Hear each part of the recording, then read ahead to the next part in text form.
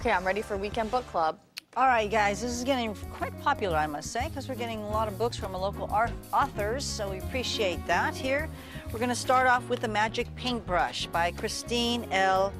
Villa. There you go, or Villa. Cute. Cute. Now, this is it. Uh, Lexa's greatest desire is to paint all the beauty around her, but she cannot capture it. One night, a magic paintbrush named Picasso wakes her up. He grants her three wishes a day. Oh. Okay? A day, I like that. There we go. Wouldn't that be nice? Mhm. Here we go. Stop.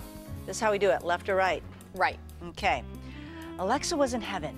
Before she could think Picasso, she drifted off to sleep, feeling like the greatest painter of all time.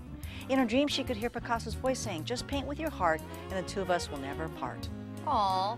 It looks, I like the illustrations too. Yeah. She says she lives with her parakeet named Georgie. And who's the illustrator? And the illustrator is uh, Katrina Iris. There we She's go. a graphic designer based in the Philippines. There you go. And Cool. Christine is local as well.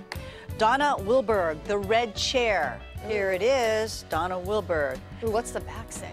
What do we really know about a person? Now, she has a trilogy here, and I believe it's. Uh, Oh, her college crush arrives in Sacramento.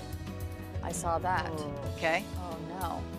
And then she's battling with a police sergeant. She finds herself being stalked. Ooh. Then she gets a dog, but then the stalking turns to murder. She be, yeah, the dog trainer helps. Okay, okay, Yeah. this is Donna Wilberg. This Here we go. good. This is how we do the book club. Stop. Okay, left or right? Left. Now, well, there might be some words. I haven't pre-read this here. Okay. Grace listened patiently as she wrote on Bruce's chart. When he stopped talking, she stopped writing.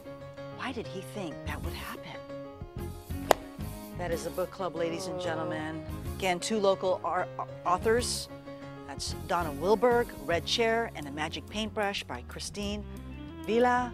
So if you're a local author, Yeah, email us. and send us the books. Yep. And we, right. we like to have the physical book, not like a digital copy. Right, correct. So we can correct. We'll do that next. Saturday. Next Saturday.